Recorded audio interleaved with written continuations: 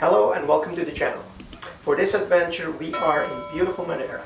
This video will feature impressions along an easy walk from Praia Formosa near Funchal to the very touristy fishing village Camara de Lobos.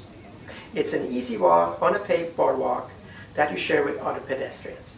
You will be walking along the ocean for the entire time and there will be two options to do this walk. I will have all geographical point links in the description of this video, so check that out. Camara de Lobos is a nice, colorful fishing village. Do set some time aside to explore it. You might plan to have lunch once you arrive in the village, but be prepared to pay a little more as usual for food and drink. Some restaurants have inflated prices as it is a tourist destination, so check the menus before you decide. Just walk around, find a nice place that suits your budget, the further away from the waterfront, the cheaper it gets. You might want to make your restaurant research from the comfort of your accommodation prior to your visit. After lunch, you can decide on either walk back or take the bus. As discussed, option one is what we're going to do in this video.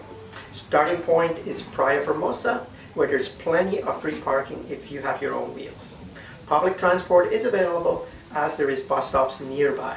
I have indicated bus stops for bus number one in the description.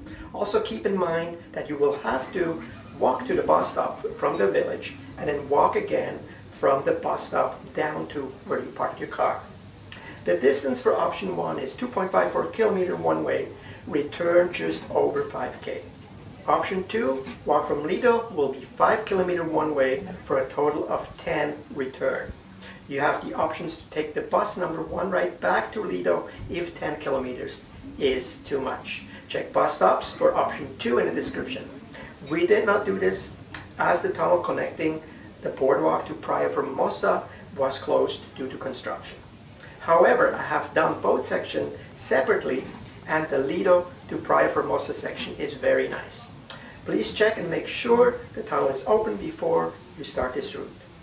If you have a hop-on or hop-off pass for either yellow or the red bus, you might decide to combine the adventure. Walk to Camara de Lobos and then ride back to either Lido or Praia Formosa parking area. It might take a bit longer, but the bus stops are just one street above where the colorful boats are stored in Camara de Lobos. Alright, enough talking, let's start walking.